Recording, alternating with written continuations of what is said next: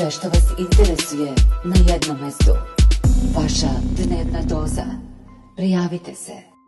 Hrvatski član predsjedništva Bosne i Hercegovine Željko Komšić i njegov savjetnik predsjednik Srpske liberalno-demokratske partije Čedomir Jovanović upozorili su danas da se parlamentarni izbori u Crnoj Gori održavaju u atmosferi koja ugrožava njene suverenitet i podržali aktualne vlasti u toj zemlji.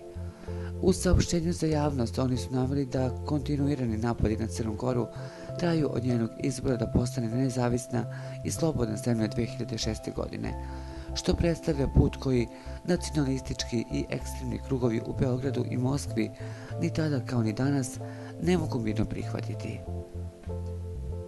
Oni su optužili Srpsku pravoslavnu crkvu da je posle donošenja zakona o slobodi veroispovesti postala neskriveni politički činilac i da preuzima zvaničnu ulogu opozicije u ovoj zemlji, čime zlupotrebljava svoj položaj u društvu.